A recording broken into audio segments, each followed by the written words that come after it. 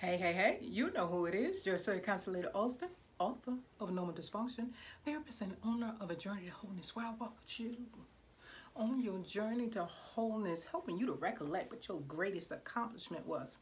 One of mine I can think of as being a good mother. And because I was just, I'm just blessed with the idea that God trusted me with children, trusted me to love and to nurture and to take care of children. Because of everything that I've been through in life and the hardships and all of the healing that I go had to go through through the trauma, I didn't know if I could be a good mother. Now, I wasn't perfect. I learned a lot along the way, but I also learned to humble myself. Um, and I have an amazing relationship with my children, and I've instilled some wonderful things in them, stuff that I didn't think I could because of where I've been.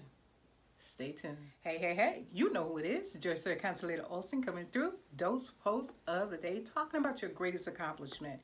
And as I said, I was using this in group today, and we had such an amazing, amazing, amazing discussion. Because although they are incarcerated, right, they were able to remember, to recollect those greatest accomplishments. And just to help them remember Yes, that this is a consequence of some choices and decisions you made. Given. But you still have accomplished some great things in life. Come on now. Sometimes we need to be reminded. Huh? Because sometimes we can get so down in a slump. You know, life and beat us up. We've been through a lot of hardship. But there are some things that we have accomplished and we need to acknowledge that. Come on, y'all. You think about it. What are some of your greatest accomplishments? Hey, hey, hey, you know who it is. Your Sir Constellator Alston coming through on this beautiful day. I know it's cloudy out. And wait, I'm looking kind of crazy. um, so, and I ain't editing it, okay? I only got a minute. So I want to talk today about your, your greatest accomplishment. I am so grateful that when I'm led by the Spirit of God before I facilitate my groups, in my mind and in my heart, God always shows up.